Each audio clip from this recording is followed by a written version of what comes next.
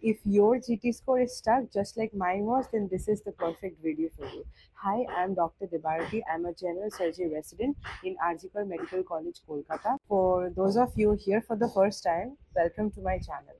So this has been a much requested video after you guys saw the short on my GT improvement, uh, seeing that my score went up from uh, 488 to 544 in just three weeks. So yeah, keeping that in mind, here I am to spill all my secrets about that uh, massive improvement. So yeah, without wasting any more time, let's get right into the video. Now to begin with, first let me give you a little background on the issue that I was facing. My score was consistently stuck at 450 or below for like 3-4 months during my preparation by the time I had already done two entire revisions of my Marrow main notes, like um, somehow I just could not pinpoint the issue that was going wrong. I watched multiple videos on YouTube, uh, both from faculty and uh, from my seniors who had cracked the exam. They were helpful, but none of them, you know, gave me the exact trick that I needed to break my clutch.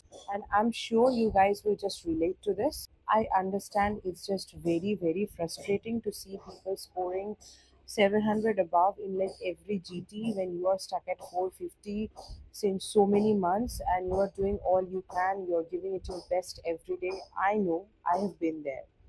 So, yeah, this was the exact problem that I was facing. And if you are facing a problem like mine, well, here's the solution. So what did I do? The first thing that I, uh, you know, did, or rather accidentally, that happened to me was BTR. So one day I was, you know, on YouTube searching for a solution to this problem when randomly uh, I came across one of Zainab ma'am's revision videos. In that particular video, she was explaining about the nerve columns and like you know that is one of the hardest things to remember like in the entire syllabus like at least uh, to me it was. So, and she was you know explaining that very difficult to remember thing in such a easy to remember way i instantly became a fan. This is not sponsored in any way. This is just what happened to me and i'm so glad it happened because it changed my entire preparation and by extension it changed my life. So what i did was i instantly ordered the btr workbook and started annotating it. Uh, at this stage of the preparation when you are in the revision phase you know writing stuff down actually helps a lot. Like for someone like me who didn't make their own notes and you know studied from the prepared notes uh, so this was a much needed thing for me because writing down helps you to remember stuff so much better. And I started annotating the BTR workbook in a way so that it could serve as my 20th notebook also the notebook that i could read one week or just days before the exam. And it would have everything in it in a short and concise way and especially the points that i forget. So yes that's what i did with btr I watched ma'am's videos, annotated it, and also added the points from Marrow that I uh, thought were missing in the notes. Also, uh, like you know, added the PYQ points uh, in the post-it notes and stuck uh, like wherever it was missing. So yeah, that's how I used BTR basically to remember things most of all because at the end of the day it doesn't matter how much you have studied. If you can't remember what you have studied it does you know it just doesn't matter. So yeah you have to remember. And Zainab ma'am helped me remember all those. So yeah. Ma'am if you're watching this video thank you. Now the second thing is definitely going to be the point on reviewing GTs I changed the way I reviewed my GTs there i have made an entire video on how to improve your gt scores and i'll be linking it down in the description below.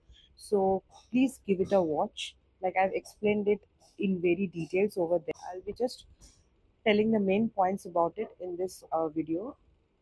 So, what I did, I started dividing the wrongs into four categories. Recall errors, silly mistakes, stuff I didn't know, and stuff that you know I got wrong by changing my answers and not trusting my instincts. And let me tell you, the fourth one blew my mind.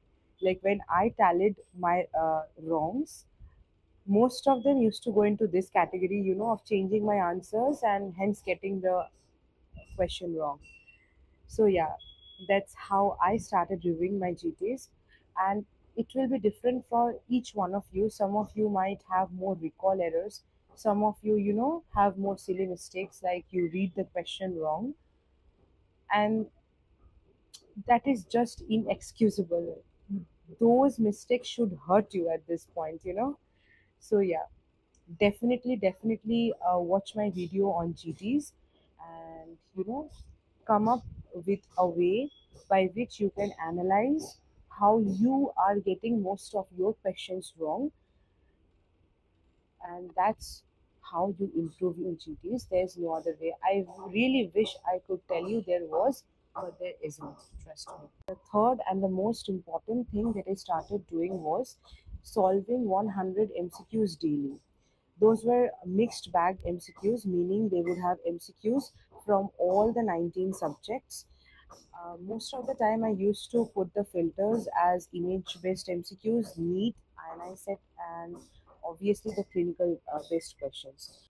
Like these four filters are a must, but some of the times you can also, like, you know, get into the habit of putting in no filters and just taking the questions as they come because uh, like me 2024 the questions were you know very unique and people had not seen a paper like that from what i have heard NEET 2025 was much more easier than NEET 2024 meaning the questions were more answerable or people were you know more sure about the answers but NEET 24 was not like that.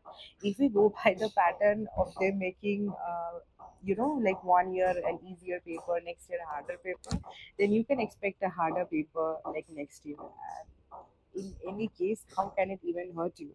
You should always be prepared for the worst and that's just what i'm saying so yes 100 mcqs daily even on the days when you are just you know bored and not wanting to study you can just solve the mcqs and it would make such a difference at the end.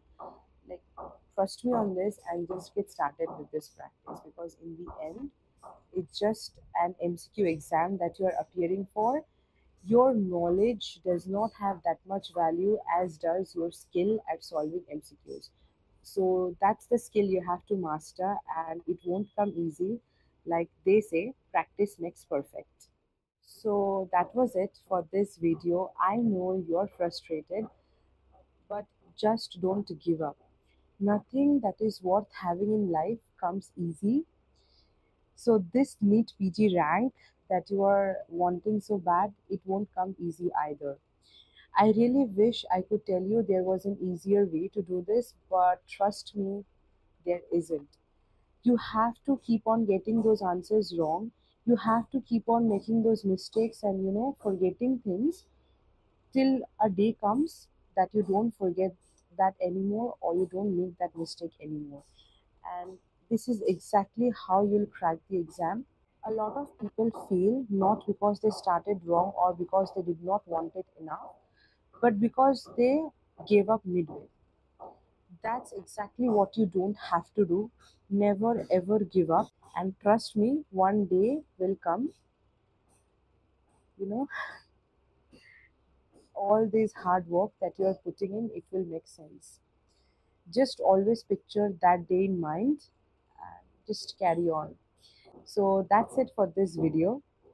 I'll be seeing you in my next one. For my next video, I'm thinking about making a video on tackling mental health during preparation because I feel that's a hugely under, uh, you know, rated and under addressed topic when it makes the most difference in your preparation. So yes, let me know if you guys would want me to make a video on that. And if you guys found this video helpful and informative, you know what to do. like, share, and subscribe to my channel. So yeah. Thank you. Uh, bye for now.